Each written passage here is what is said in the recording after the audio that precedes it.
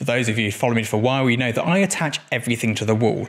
Chargers, power cables. I went a bit Casey Neistat on the studio and it worked brilliantly. Until my shoots got a little bit bigger and we started to run out of plug sockets. And yes, I could have a few more sockets added, but to be honest, we're sort of hitting the limits of the breaker in here at the moment. So not such a great option. However, what I've done instead is I've built a charging trolley. And I'm gonna put links to everything you need below in this. I didn't get given any of it, I paid for everything in here. But it has been such a game changer. I want to share it with you because it is an easy bit of thing to do. All you need are some zip ties, some sticky Velcro, a multi-socket, and your chargers. It is that simple. So I built, I bought the trolley off Amazon. It was about fifty pounds, and the reason I bought it was I was searching for pegboard, and suddenly a pegboard trolley came up. I was going to copy one of these other videos where they got the nice pegboard charging walls, and it's going to look all moody and sexy and all that good stuff.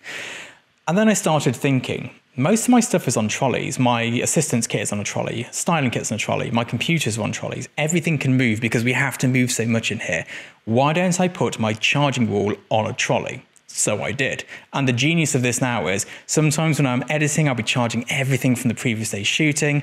And I can plug it in next to my desk in the office and monitor it from there rather than having to go in and out of the office because we don't heat the studio when we're not shooting because, you know, polar ice caps and uh, also why would you? Um, so we'll heat the office, have the charging going on in there, and then I don't have to keep walking out into the freezing cold warehouse section. Also, it means that when we're shooting, if I suddenly need a plug socket which is holding charges, I can just unplug it, wheel the whole thing along, and take it to its new location. It also means I have somewhere safe to store all of my batteries as well. There's a little tray for dead batteries, there's one for charged batteries, and you can sort of see what's going on and anyone can work it out. So got a new assistant in for the day, they can work out the charging trolley. It's pretty self-explanatory. If you want to have a go at it, please give it a crack and just send me a picture of what you've made. If you've got a better idea or any design ideas that would make it better, also let me know. Now, although it is, you know, safe, I wouldn't actually leave this plugged in overnight. Um, I only leave these sorts of things plugged in whilst I'm here. I'm a little bit paranoid about power supplies.